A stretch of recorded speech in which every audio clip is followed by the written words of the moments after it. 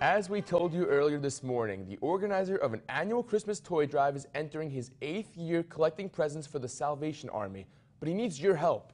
Fox 44's Bo Poon is live this morning with Troy Austin, the founder of Troy's Toy Drive, to explain more about how you can get involved. Good morning, Bo.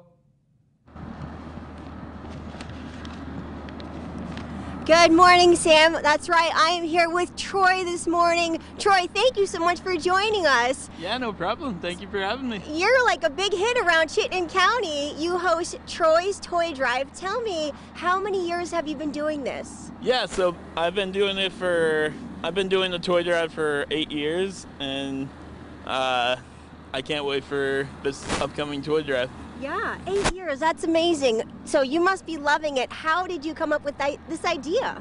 Uh, so eight years ago, I was in high school and I just wanted a cool community event where people can come out. So I decided to contact SD Ireland cement Mhm. truck. Oh, yeah.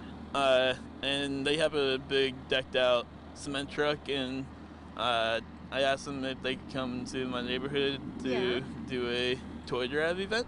Okay, that's right. Because I you you had told me you started in your driveway, but it's Yeah. gotten so big you've had to move it to a larger location. Yeah, so uh, the first three years we started in the driveway. Then for a couple years we moved over to Maple Street Park in Essex. Right. Then we had to go over to Essex High School, Yeah. and then They have a big parking lot. Yeah, they have a big parking lot at Essex High School, but uh, this year we're doing it at ADL in Essex. Okay, ADL and Essex this year, great. Yeah. And I see your your truck is all decked out. Can you run me through these decorations? Tell me about them. Yeah, so I bought 21 boxes of Christmas lights, and I used 19 of them, so I have about like 1,800 lights on this. Oh my goodness. And in the back is a generator that is powering everything, Uh huh. and I have a speaker that is playing Christmas music. so Christmas music. Oh my goodness. And do you play that on your own, or is there like a radio Yeah. station? I have a Bluetooth hooked up to it, so when I'm driving through the neighborhood, I Everyone- try to blast it Yeah, no one's gonna people miss come you. outside.